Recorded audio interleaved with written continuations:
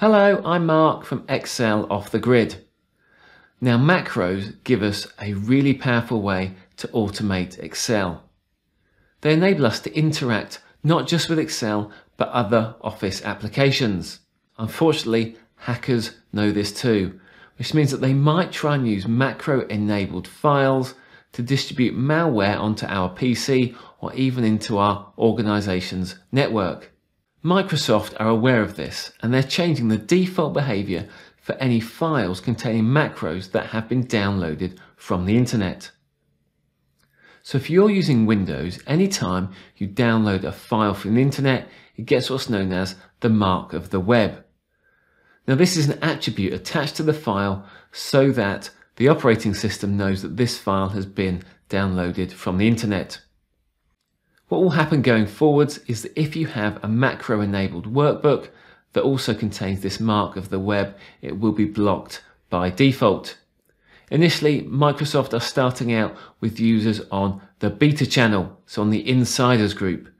But eventually, once they're happy with it, I'm sure it will be rolling out to other PCs and other versions soon.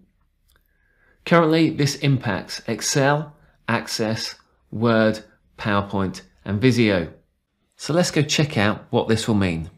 Well, here I have a file that I have downloaded from the internet and it contains a macro. I'm going to double click to open up this workbook. So we now get this red bar at the top that says security risk. Microsoft has blocked macros from running because the source of this file is untrusted. If we click learn more, it brings up this web page, which tells us about the changes what's happened, but then also brings us down to if you are happy with your workbook, what can you do to unblock it? Now you can still interact with this workbook. So you can still type things into cells, you can still run other aspects, but the macros are the things that have been blocked. So let me close this workbook and I'll show you how we unblock this workbook so we can open it with macros running. So all we do is right click on the file and go down to properties. And from the properties window, we can select unblock. From there, we can click apply and then OK. Now if I open up that same workbook, you'll see that all we have is the security warning message to say that macros have been disabled. From there, I can enable content. And now I can run my macro. Now this won't impact all workbooks. It will only impact those workbooks that have been downloaded from the web. And once you've enabled and trusted those workbooks, that same message shouldn't appear unless you happen to move or rename that file. Now it's worth saying that any files that we save in our trusted locations will not be checked for this mark of the web and will be enabled to run straight away. So how can we check our trusted locations? So we can go to File, down to Options,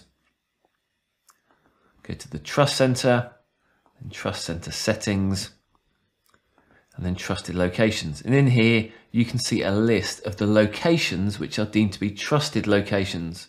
So if you save any macro enabled workbooks into these locations, or if you add a new location, then that workbook will not be blocked. Now you might ask about add-ins.